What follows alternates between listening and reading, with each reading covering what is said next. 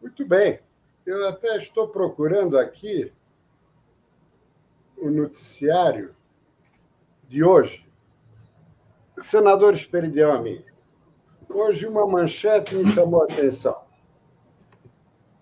Pela primeira vez na história da República, uma penitenciária federal de segurança máxima foi alvo de fuga.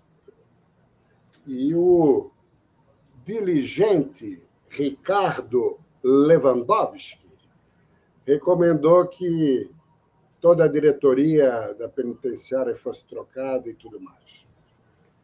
Não bastasse isso, Sua Excelência foi ao Egito, supostamente para uma reunião para discutir a situação de Gaza. Só que quando lá chegou, a reunião tinha terminado na véspera. Daí foi visitar as pirâmides com a excelentíssima primeira-dama. E aí a gente está acompanhando todo tipo de notícia, é o rombo fiscal, enfim, nem vou me estender. Eu gostaria de ouvi-lo, senador, porque hoje o país vive numa situação de absoluto desgoverno, descalabro, onde o brasileiro tem sido debochado. Agora estão mandando comida para Cuba. Vamos mandar para o Nordeste e para o Norte, duas regiões que o elegeram pela terceira vez presidente da República. Estão mandando dinheiro do BNDES novamente para países vizinhos, ditaduras de esquerda, várias empresas querendo produzir, gerar emprego. Quase 500 mil empresas fecharam no primeiro trimestre. Aliás, no primeiro semestre do ano passado. Não se tem o levantamento segundo. Falei demais, senador. Prisco, eu acho que realmente você está focalizando um, um drama gerencial, de gestão que o Brasil está vivendo. E isso é fruto de uma coalizão feita a qualquer preço. Ah, como dizia a presidente Dilma, para ganhar a eleição faz-se o diabo. E o pior é deixar o diabo governando. Ou seja, aquilo que nós aprendemos como sendo pecado, né, na cristandade, nós aprendemos isso é pecado. Ou seja, isso faz mal.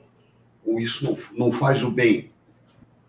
O fato é o seguinte: quando você faz esse acordo com o diabo, você aceita regras de jogo do diabo. Então, o que menos conta é o resultado do governo.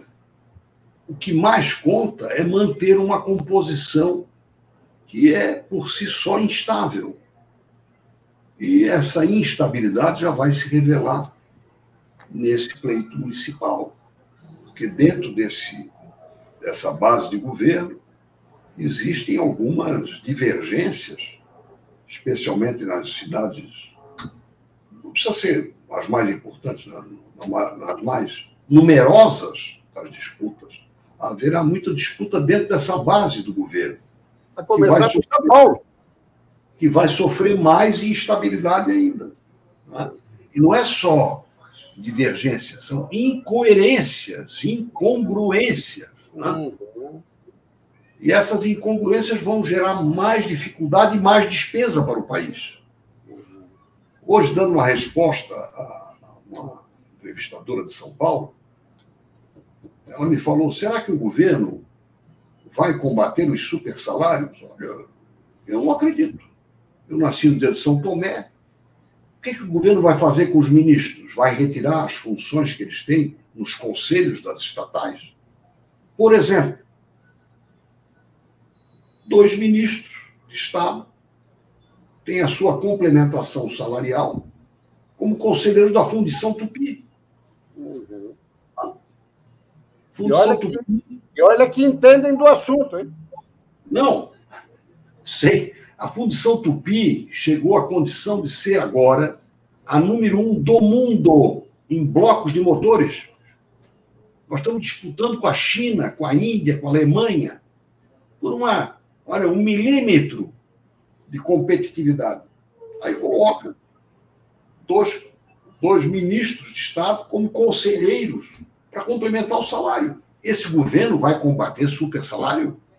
Como? Esqueça. Só se for um dos outros. Né? Uhum. Então, essas incoerências que fizeram com a lei das estatais.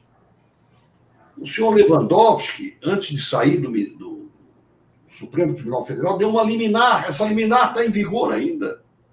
E foi por causa desta liminar que 587 cargos, incluindo conselhos, puderam ser abarcados, ser ocupados, sem dedicação exclusiva, por funcionários políticos do governo. Ou seja, é um complemento salarial. E olha bem para a remuneração. Esses 587 cargos, isso foi um levantamento feito pelo Valor Econômico e pela CNN, tem a remuneração variando de 204, 204 mil anuais a 3 milhões anuais. Ou seja, salário de mais de 200 mil mês, que passaram a ser uma, uma um possível oferecimento político. Resultado: as estatais estavam dando lucro, já no primeiro ano entraram no vermelho. Porque você não tem compromisso com o resultado, com a rigidez, com a saúde, com a gestão. Então, essa capacidade, só para concluir, é, essa cabeça de acerto político a qualquer preço está dando resultados extravagantes. No déficit fiscal, no resultado fiscal das estatais, e só, agora concluindo de verdade, que tal fazer a exportação para Cuba dessa comida que você mencionou pelo Porto Seco de Dionísio Cerqueira, em Rambo, que, onde, onde o caminhão fica esperando 15, 20 dias para passar, por causa de um movimento paredista, que significa, acima de tudo, incompetência e desconsideração com quem trabalha e produz e exporta, ou importa.